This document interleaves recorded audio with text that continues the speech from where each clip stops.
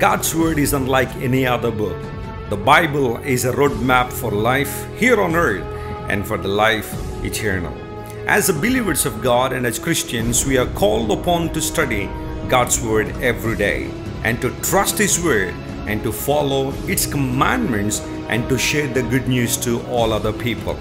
The Bible says in Matthew 4 4, Man shall not live by bread alone, but by every word that proceedeth out of the mouth of God. As a people of God, we must study the Bible and meditate upon its meaning for our lives. Otherwise, we will deprive ourselves uh, for a priceless gift from our Creator. A man of God said, When the child of God looks into the Word of God, he sees a Savior and uh, he is transformed by the Spirit of God to share in the glory of God.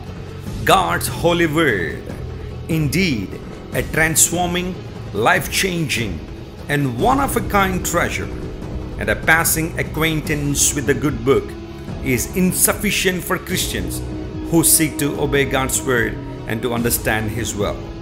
My friend, I wish you read the Bible every day. It is the book of God inspired book of Almighty God. God bless you.